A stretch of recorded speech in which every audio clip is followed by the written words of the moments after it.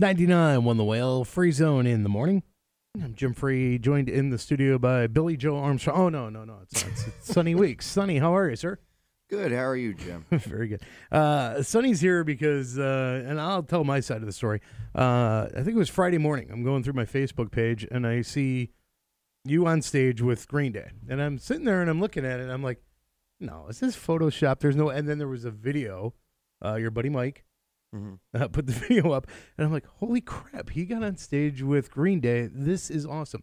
Uh, and I, after I spoke to you and uh, I put the uh, the uh, blog together about it, all I kept thinking was, God, he must be like on cloud nine because I felt like it happened to me. I mean, I was so happy for you because like that's got to be a dream. I know you're a huge Green Day fan, so so let's back up. The first time I met you and you were singing for uh, Reckless Marcy, Mm-hmm. and you guys were doing Green Day. I'm looking, I'm looking at it. I'm like, God, not only does he sound like him, play like him, he even kind of looks like him. So here you are on stage. This is like your favorite band, correct? Yeah, yeah. I, I always th- thought too because I definitely grew up idolizing them, and and uh, I remember the first time I saw. I think it was the Basket Case video. Mhm. It was back around the Dookie era and all that, and I saw him, and they he had that Gumby arm just killing his guitar, and I knew at that moment I I wanted to be him. You Yeah. know, it was it was that hero thing, but um. I always think that when somebody idolizes somebody so much or looks up to them and tries to emulate them and be them, uh, it kind of like changes your d- genetics or something. Because I've I've gotten that before about looking like him. I think it's just from studying them so much that Yeah. it, over the years, There you know I Now, mean. h- how many times have you seen them in concert? This would be the fifth time. Okay, and just about every show they pull somebody out of the audience to sing, correct? Yeah, they've been doing it since probably 2004. I mean, probably before that, but pretty exclusively since then, all the time. So. Okay, so so take us back. Thursday, you headed down to Holmdel, New Jersey, Mm-hmm. right? And uh, or no, uh, no, we we stayed in Philadelphia, okay, and it was in Camden. We took a Camden. ferry over to it. Okay. So you took the ferry over. Who was all with you? I know there were other musicians with you. Uh, my fiance's, my future father-in-law, Chris Lewis, uh, Mike Wilcox, and Dan Ovudi, who's another big musician in the area. Okay. Yeah. So, and I saw the I saw the videos and the and the pictures leading up to the event. Yeah, we Like in the hotel? Looked like you were mooning people outside a window or trying to at least. yeah, yeah. Uh, so then you get to the event, and in your mind, are you thinking, "I want to get up close. I want to get on stage." Yeah, I was determined. I I said it a few times. I mean, it, uh, again, it, it's been a dream to do that.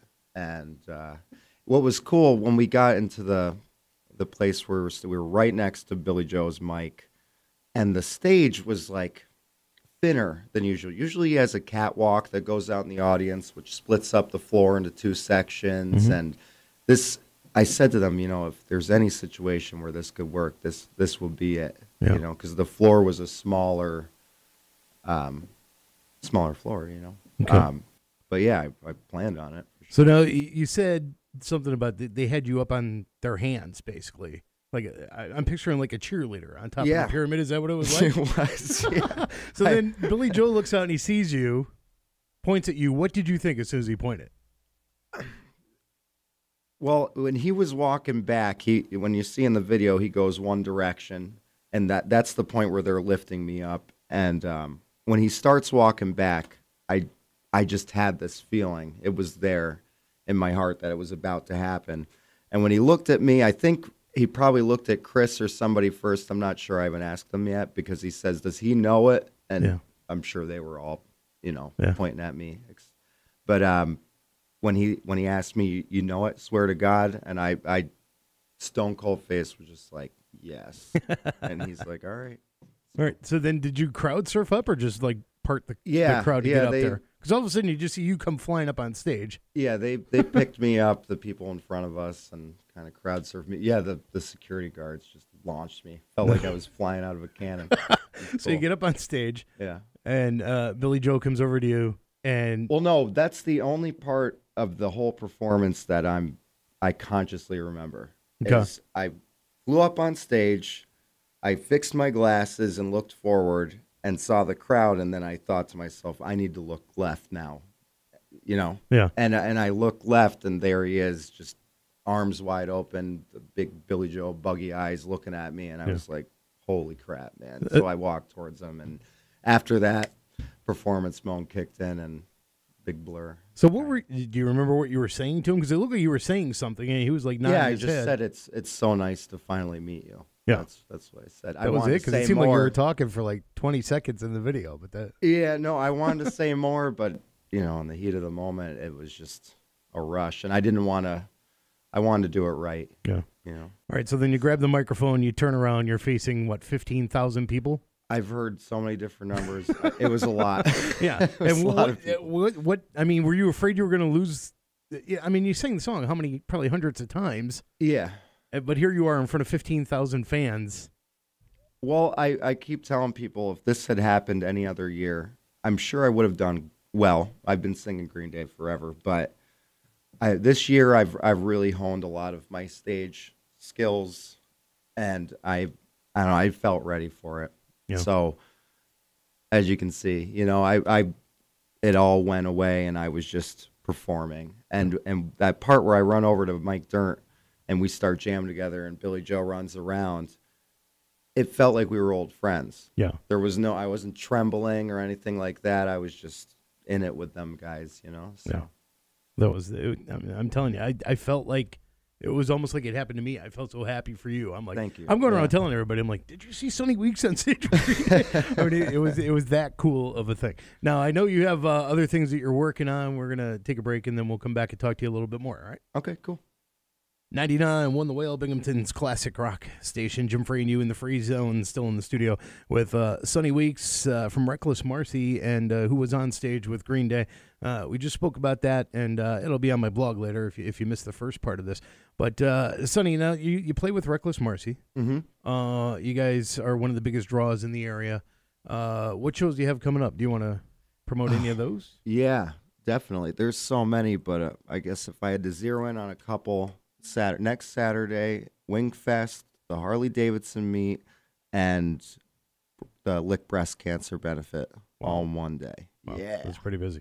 so now, so you'll be out there with those guys doing that, and uh, now I know you you write music yourself. I and, do, uh, yeah. You you've got some original songs. Tell us about uh, what you're working on now. Yeah, it's been a while since I put anything out there. It's it's it's been hard to I mean, I've got Vape, which is an original band, and then I have something on the way that is actually a, a pretty awesome deal.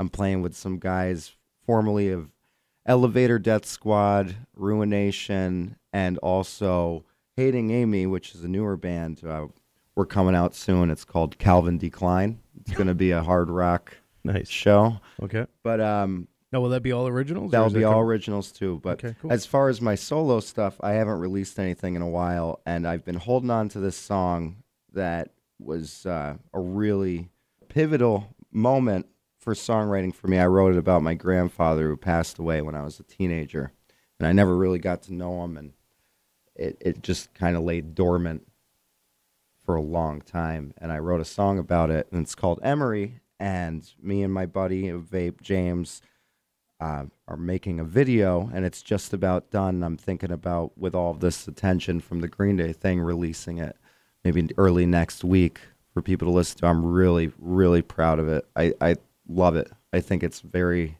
I think people are gonna like it. Okay. Now when you, when you say release it, is that going to be through your website or how would people get to it? Yeah, it will be on my Facebook page. I'll, I'll it'll probably be on the band's Facebook pages too. Um, but definitely mine. I try to direct everybody to my Facebook page just because I'm involved with so many musical acts Mhm. that it's easier to just. that- That's all I do on Facebook is promote the music, so Yeah. they won't have to see any pictures of food too often. It's always music, you know. I hear you. Well, I don't mind seeing food unless I don't either. until I'm hungry, and then it's like, damn it.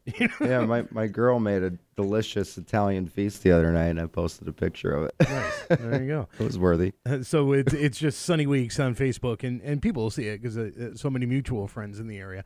Uh, and uh, getting back to Reckless Marcy, uh, Mm. Yeah. you've uh, I, I would imagine you've played with these guys since that happened, correct? Yeah, we just played in Ithaca this weekend. Okay. Was there any mention on stage of it? Yeah, I went into a little speech about following your dreams and and that. somewhere in the latter half of the night. Yeah. Very cool. Yeah. Well, that's awesome. All right, man. Uh, anything else? You got uh, you got the Reckless Marcy uh, Facebook page as well, right? Mm-hmm. And uh, uh, what was the name of the new band that you're you're working on? Kalvin Decline. K A L V I N N D E C L I N E. There you go. That that should, that should be fun. An awesome name too. Thank you. Thank you. All right, Sonny Weeks again. Uh, if you want to see the video of him on stage with Green Day, again, I, I mean, how long did it take to sink in that it actually happened? It's I mean, the rest of the show. Did you just? That's a good question. I, I wanted to bring that. I literally woke up the next day and have ever since when I watched the video. I've watched it a lot. I'm not gonna lie. I love it. But um, every time he's walking back towards me, I expect him to pass me by. It's it's that surreal. Every Yeah. time I have to, it re-sinks into my brain. You know.